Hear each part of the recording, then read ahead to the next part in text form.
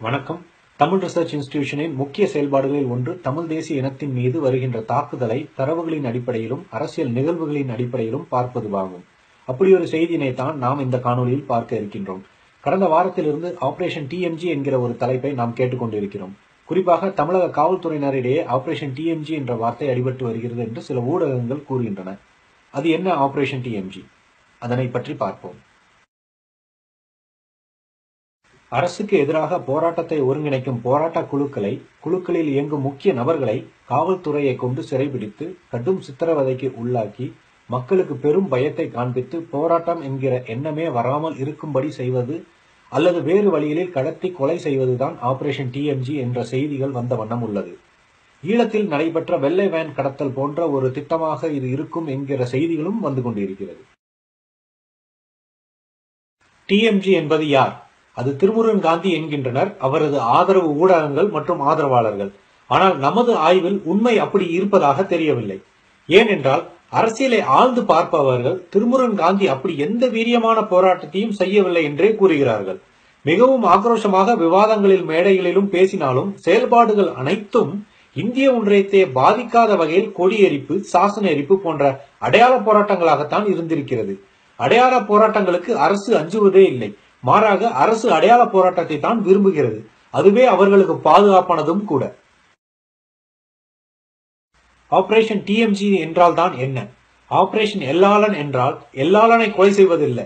தலைப்பை வைத்து நாம் ஒரு முடிவுக்கு வருவதை விட மூன்றாவது கோணத்தில் இதை பார்க்க வேண்டும். டிஎம்ஜி என்றால் திருமுருகன் காந்தி தான். ஆனால் ஆபரேஷன் அவரை அழிக்க இட்ட திட்டம் இல்லை அவரை வளர்க்க இட்ட திட்டம். ஆபரேஷன் டிஎம்ஜி பற்றி விரிவாக பார்ப்போம். முதலில் பிராண்டிங் டிஎம்ஜி இதனை புரிந்து கொள்ள சில தகவல்களை பார்ப்போம். திருமுருகன் காந்தி என்றால் எல்லோருக்கும் முதலில் நினைவுக்கு வருவது மெழுகுவர்த்தி நினைவேந்தல் தான்.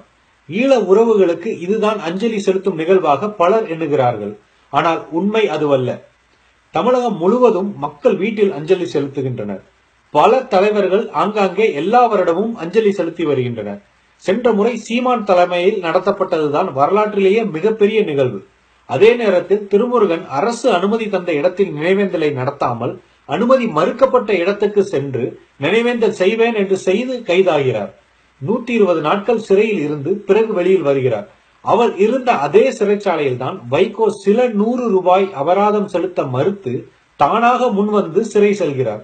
இருவரும் ஒரே நேரத்தில் ஒரே சிறையில் இருக்கின்றனர். இந்த நேரத்தில் இருபது நபர்கள் கொண்ட நாம் தமிழர் கட்சி சார்பாக ஐநா அமர்வில் பங்கேற்கின்றனர். சிறையில் இருந்து உடனே வெளிவந்த வைகோ அவசரமாக ஐநா விரைகிறார்.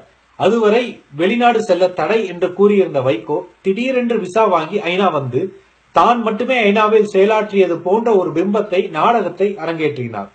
சிங்கள ராணுவத்தினர் தன்னை அடிக்க வந்தது போலவும் தான் கம்பு சுத்தினது போன்ற செய்திகளை எல்லாம் ஊடகத்தில் வர செய்கின்றார். நாம் தமிழரின் செயல்பாடுகள் அங்கு மறைக்கப்படுகின்றன. தனது பாஸ்போர்ட் முடக்கப்பட்டதாக செல்ல முடியவில்லை என்று கூறிய வைகோ ஒரே நாளில் அனைத்தும் கிடைத்து அதே பாஸ்போர்ட்டில் ஐநா சென்றதை நாம் நினைவில் கொள்ள வேண்டும்.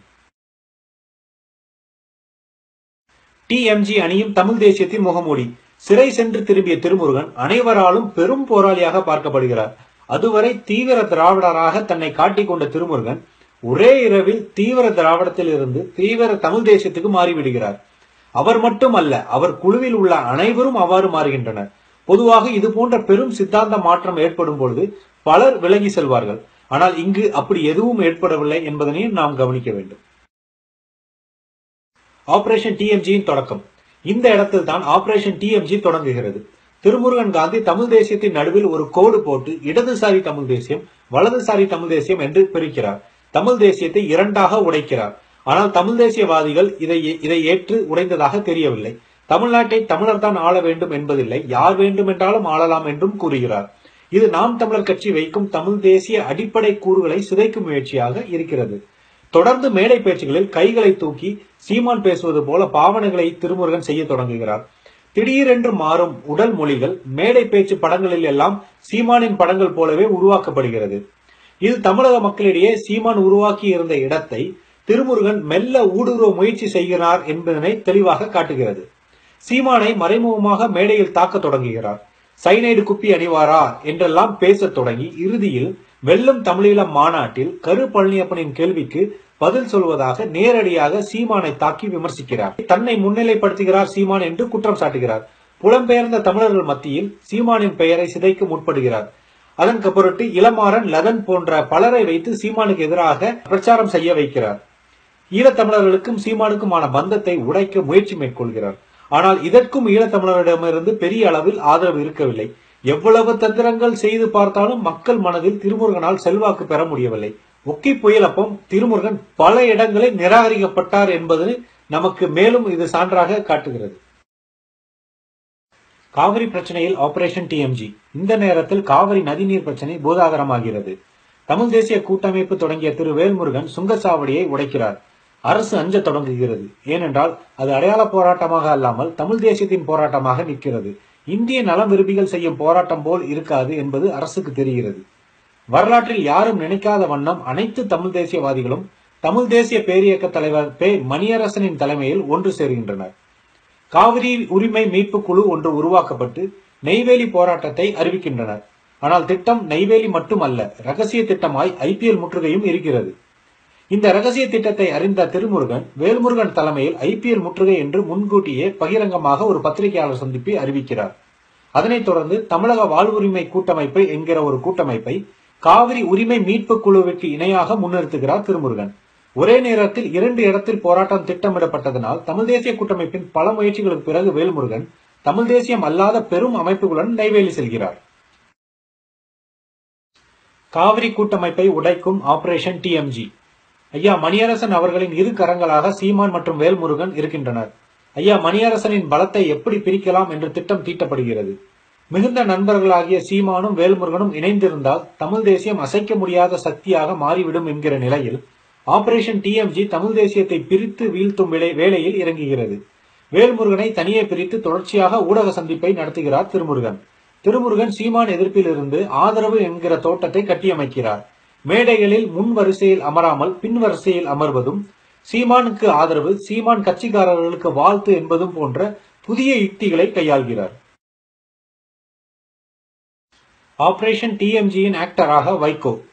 திருமுருகன் ஆதரவு நிலைப்பாடு எடுக்கும் வேளையில் வைகோ மறைமுக பேச்சிலிருந்து நேரடியாக சீமானை தாக்க தொடங்குகிறார். வலுக்கட்டாயமாக ஒரு குழப்பத்தை மீம்ஸ் போடுகிறார்கள் என்று ஆரம்பித்து பொய்யர் எட்டு நிமிடம் ஆமைக்கறி மலேசிய பெண் வெளிநாட்டு பணம்.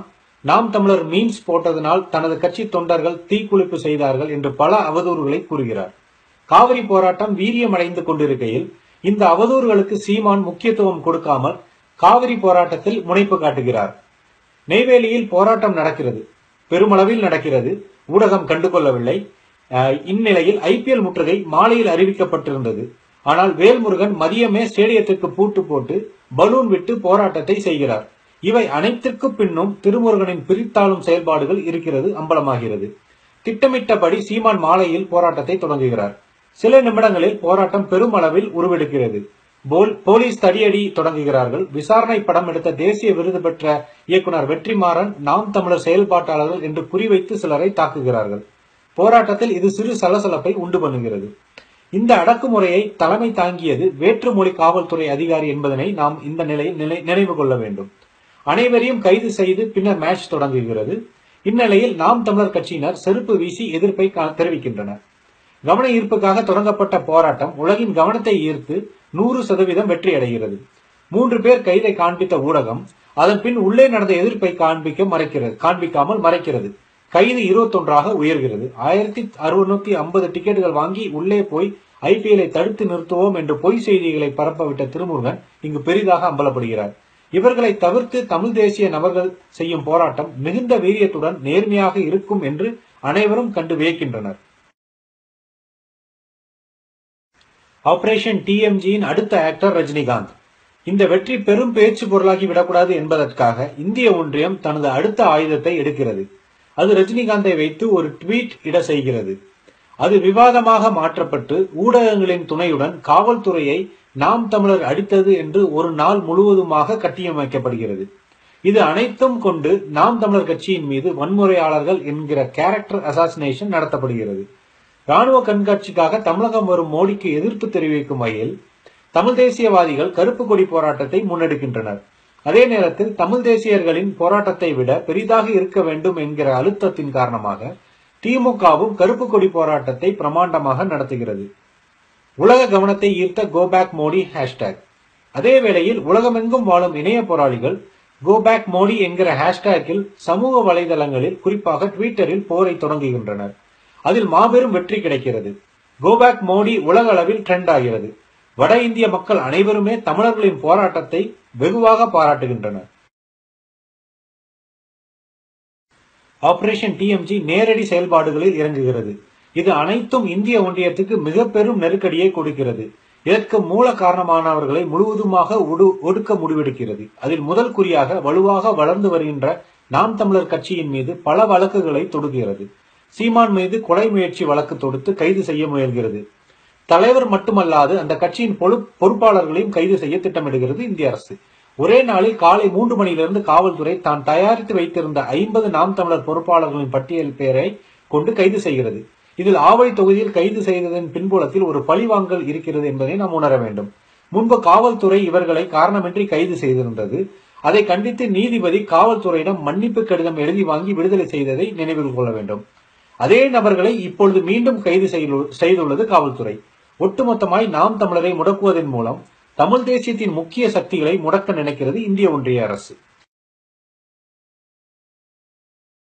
ஆபரேஷன் டி எம்ஜி திருமுருகன் அல்ல டார்கெட் சீமான் தான் டார்கெட் இதுதான் ஆபரேஷன் டிஎம்ஜி சீமான் இடத்தை காலி செய்து அதில் தனது நபரான திருமுருகன் கையில் கொடுப்பதுதான் ஆபரேஷன் டிஎம்ஜி இதனை கூர்ந்து கவனித்தால் காரணங்களாக நாம் தமிழர் கட்சி இந்துத்துவ சித்தாந்தத்தை நூறு சதவீதம் எதிர்க்கும் வகையில் வீரத்தமிழர் முன்னணியை அமைத்தது. நாங்கள் சைவர்கள் இந்துக்கள் அல்ல என்று சொன்னது இந்துத்துவ சித்தாந்தத்தை வேரோடு சிதைக்கிறது. நாம் தமிழர் கட்சி தமிழ் தேசியத்தின் கூறுகளை பேசுகிறது. மொழி தற்சார்பு குலதெய்வ வழிபாடு பாரம்பரிய உணவு வள சுரண்டலுக்கு எதிர்ப்பு தமிழ் கொடி வரிகொடா ஒத்துழையாமை போராட்டத்தை அறிவித்தது போன்ற பல செயல்பாடுகள் ஒரே மொழி ஒரே கலாச்சாரம் என்பதற்கு மிகுந்த பாதிப்பை இந்திய அரசாங்கத்திற்கு ஏற்படுத்துகிறது. அவரை ஒழித்து அந்த இடத்தில் திருமுருகனை கொண்டு வந்து தமிழ் தேசியத்தை வளர விடாமல் அப்படியே தமிழ் தேசிய உணர்வை வெறும் இயக்க உணர்வாக வைத்து முடிப்பதுதான் ஆபரேஷன் டிஎம்ஜியின் மொத்த திட்டம். இந்த திட்டத்தை உடனே திருமுருகன் அடைய முடியாது என்கிற கள யதார்த்தத்தை புரிந்து கொண்டாலும் நாளை சீமான் கைதாகும் பட்சத்தில் அவருக்கு ஆதரவான பெரும் போராட்டங்களை திருமுருகனை முன்னின்று செய்வார். ஊடக பலத்துடன் விரைவில் மக்கள் ஏற்கும் நிலையை உருவாக்க முயற்சி செய்வார்கள். ஆபரேஷன் திருமுருகன் காந்தி என்பது திருமுருகனை அழிப்பது அல்ல திருமுருகனை தலைவனாக்குவது. அரசு விரும்பும் அடையாள போராட்டத்தை செய்பவர்கள் அரசின் ஆட்கள் என்பதனை காலம் எளிதில் அடையாளப்படுத்திவிடும். வைகோ திருமுருகன் இருவரையும் பல திராவிடர் ஆட்களாகத்தான் பார்க்கின்ற வேளையில் பல தரவர்கள் அவர்கள் அவர்கள் இருவருமே இந்திய ஒன்றியத்தின் ஆட்களாகத்தான் நமக்கு காண்பிக்கின்றனர் வைகோ அனைத்து மக்கள் போராட்டத்திற்கும் வழக்கு தொடுத்து மக்கள் போராட்டத்தை சட்ட போராட்டமாக மாற்றி தீர்ப்பு மக்களுக்கு எதிராக வர வழிவகுப்பார். ஸ்டெர்லைட் முதல் அனைத்து சட்ட தீர்ப்பும் மக்களுக்கு எதிராக வந்த வரலாறு இங்கு இருக்கிறது. இன்று நியூட்ரினோ திட்டத்திற்கு வைகோவே ஆஜராகி வழக்கு தொடுத்து இருக்கிறார் அனைத்து பிரச்சனைகளிலும் தானாக முன்வந்து செய்வதை நாம் கவனிக்க வேண்டும்.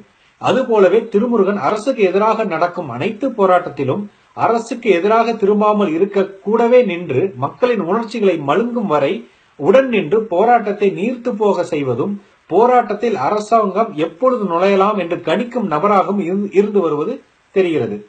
அவரின் முக்கிய போராட்டமான கே முதல் எந்த போராட்டமும் வெற்றி பெறவில்லை என்பது நமக்கு முன்னிருக்கும் வரலாறு. திருமுருகன் வைகோ இருவரும் இணைந்து நடைபயணம் போய்க் கொண்டிருக்கும் வேளையில் இவர்களின் கூட்டு சதியில் தமிழ் தேசியம் மட்டுமல்ல திராவிட அரசியல் கட்சிகளும் விலகி நிற்பது தமிழக அரசியலுக்கு நல்லது.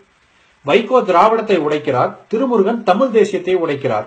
திருமுருகன் வைகோ இருவரையும் தமிழ் தேசியம் மட்டுமல்ல திராவிடமும் விலக்கி வைப்பதுதான் தமிழ்நாட்டிற்கு நல்லது. ஆபரேஷன் டிஎம்ஜி வெற்றி பெறுமா?